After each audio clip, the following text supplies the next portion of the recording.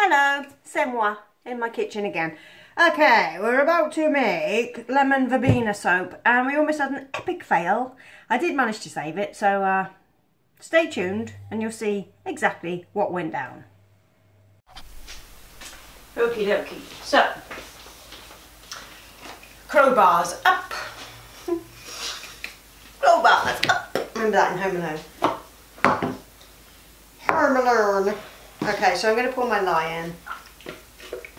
Working with a 40% discount on the water, something like that.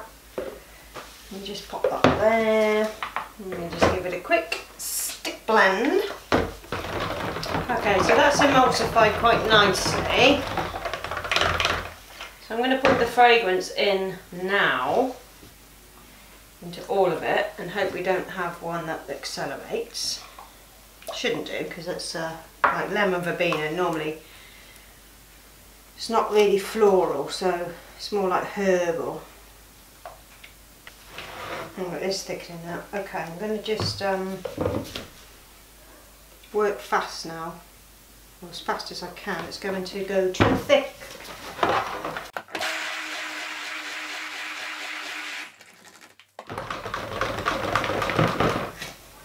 Okay, just going to get that in the mould as fast as we can because it'd be thick.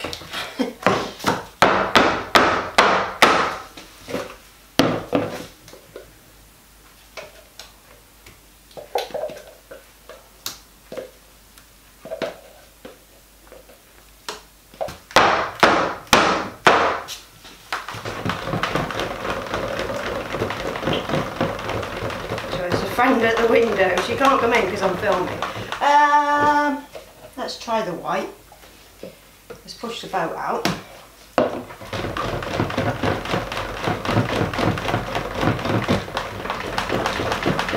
There we go. It's not as bad as I thought actually. We'll be able to get this in there. Pretty good. Might just be a few streaks maybe. Oh god, look at this. Right, I'm going to just uh, get the cocoa one. All is not lost at the moment. See, this bloody thing doesn't stick down. Stop stressing me out, Soap. Christ. Oh, Lord.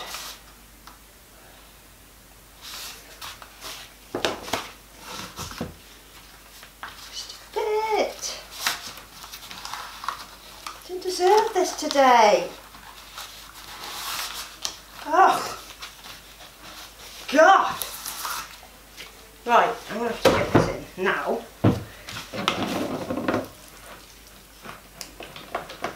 When disaster strikes.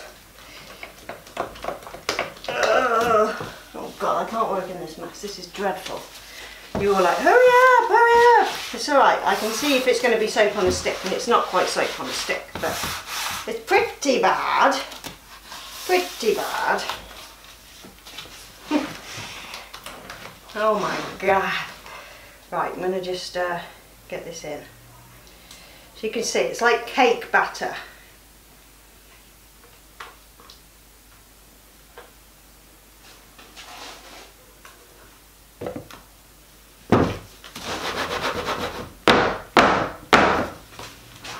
but workable. We're all right.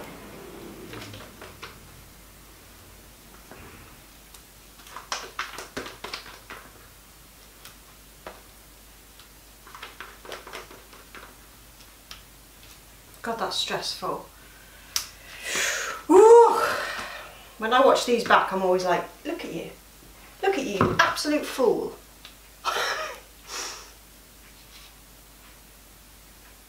But I've had so, like years ago, I used to have so many of these happen to me that um, it just became like, get ready, I'm gonna have to move quick, you know.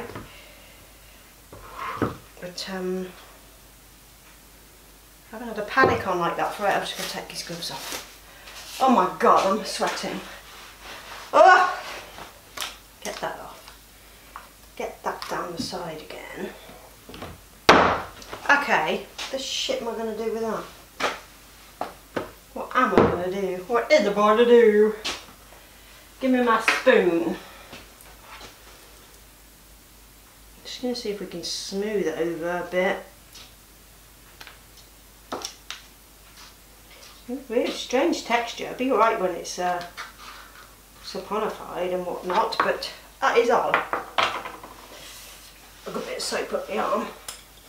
Okay, I'm going to grab my chamomile flowers because I'm not letting it beat me. We will get what we want out of this bitch, believe. Okay.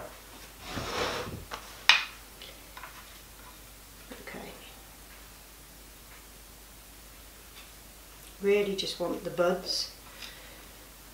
Really. Just want the buds. I'll speed this bit up of the video because uh, otherwise you'll be like yawn. Boring. Boring video. Dislike.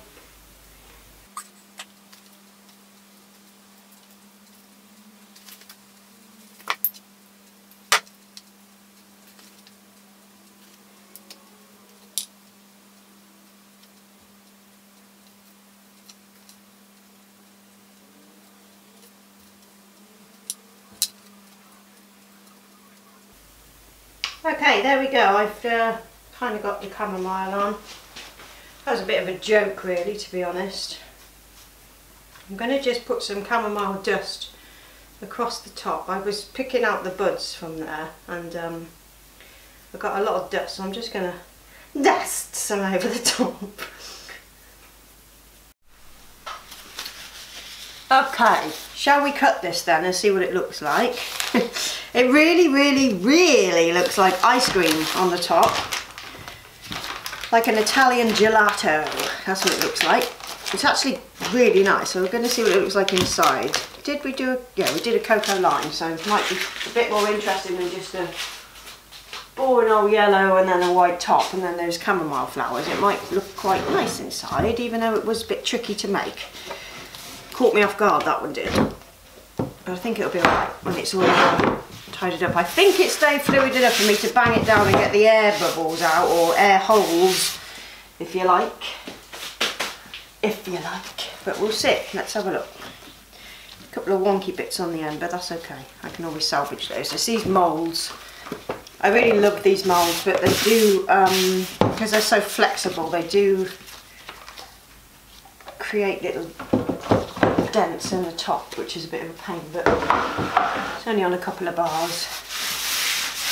They were so cheap. It's just like silicone moulds in the UK really, really expensive.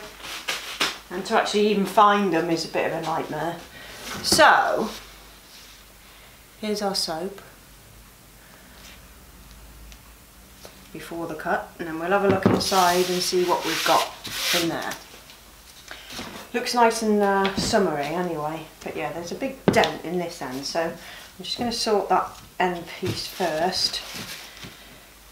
And put it on its side because of that those flowers. Let me just have some coffee before I die. Mm. Oh, yeah. Oh, yeah. Just get rid of that end piece. So these first couple of bars are not going to be too great because I've got my dents in them. I might have to keep them for myself. Look! So it's created like a wonky edge. But that's okay. I, I always like to keep a bar for myself anyway. If there's like scents that I really like and this is one that I really like, then uh, I'll have the crappy bar. and there's another one there. So I might end up with two crappy bars. But they look quite nice. So now we can start and they should be better. There you go. So tidied up actually, I think it'll be quite nice. There you go. Sorry if the lighting's a bit bright. I've got my uh, new lights on because again it's really dark in here this morning so I did try the overhead lights again but they just they just flicker they're no good so you might get some different light in here this morning. God, I'm boring today. what was I going to say? That's it. I need you to leave in the comments your favourite YouTubers. I don't just mean soap makers. I mean like overall your favourite YouTubers. I've got loads and I watch so, so many different types of channels and so many different YouTubers that I have like my select few that I'm like, yes, when they've uploaded I get really excited and I, you know, it's great. And I thought, I'm going to ask my subscribers who their favourite channels are. So like let me know who you watch and it you know it doesn't have to be soap making in fact preferably not soap making because I don't actually watch a great deal of soap making I do sometimes but um, it's rare now that I sit down and watch a soap making video because you know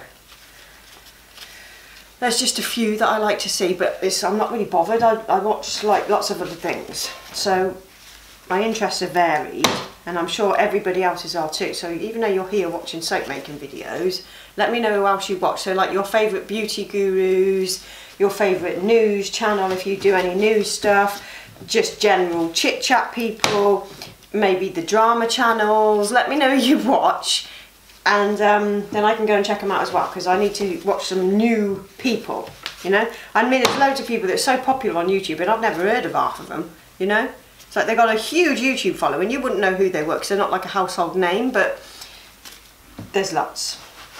So my favourite beauty channels are Raw Beauty Kristi, Desi Perkins, Katie Luster um, oh god, there's so many. There's so many. Uh, Nicole Guerriero, is that her name? Like her. And like basically any of them that talk to you like you're a real human being. Like I can't stand like the makeup channels where they talk like this and everything's so perfect and blah blah blah. I can't stand that. It's like that's not reality. Like some of them is like I'm just gonna put this on my face here and I'm just gonna put this on my face here and so it's like you're talking like a robot like that's not how people talk so I like to watch people who are a bit more um, or less contrived then. I'll tell you when I do watch it's a bit of a guilty pleasure and that's Tati. Tati's probably like one of the most like um, influential people on YouTube or maybe not influential but the most watched and with the most subscribers. I don't find her makeup techniques very good. And I do find her a little bit contrived at times. But um, she's like a guilty pleasure and I like watching her because I like her setup and I like how clean and shiny and lovely it all looks. But I do find her makeup techniques a bit crap and also her attitude to some things a bit crap. But you know she is who she is. Makes a lot of money on YouTube but I like to watch her. And um, who else is there? Lisa Eldridge I love. She's the British girl who just she's just so classy and lovely. Um, who's that other one? Violette FR, and she's like the um, is she a product developer for Estee Lauder now? I think that's what she does now. Anyway, there's her. So there's loads of loads of different people that I like to watch. I watch Jeffree Star, James Charles. I can't really deal with. He talk, he just talks way too fast, and it's just too much. But I do like him in some kind of weird way. So there's him, Jeffree Star. Um, there's another really beautiful lady who's another real classy lady. I can't remember her blooming name. I'll try and remember it for the next video. But she does beautiful makeup and loves beautiful makeup and she is stunning. I think she's Spanish or Italian. And I can't remember her name is. She's got this long cascading dark hair, dark eyes, beautiful makeup all the time. And like I like watching her. I like Nadine Baggott, who's British and her skincare sort of she knows skincare like inside out, and I really like her. Like the beauty hags, I really like her. So yeah, let me know who your favourites are, and then I can watch some new people this year. Okay, I'll see you for the next one. Ta ta.